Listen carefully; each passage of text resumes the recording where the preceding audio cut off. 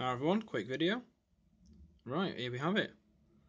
The uh, Harry Potter inspired laser cut. Have you seen this wizard poster? Have you seen that wizard? I don't know, but I think he was in Leon. Not sure. And The Fifth Element. And that new Churchill film. Anyway.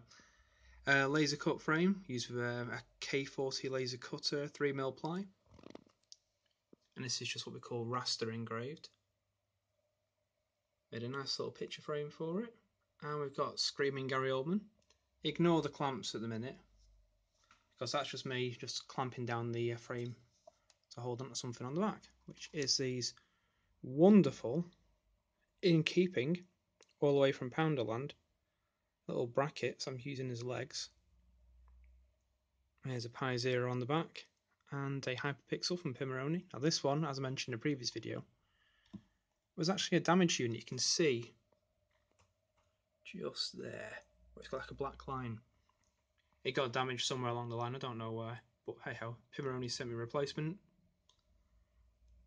Doesn't affect the screen as such. You can see little blemishes here and there, but the touch element doesn't work either. But it still is in keeping for what I'm using it for, which is an old-fashioned Harry Potter inspired frame.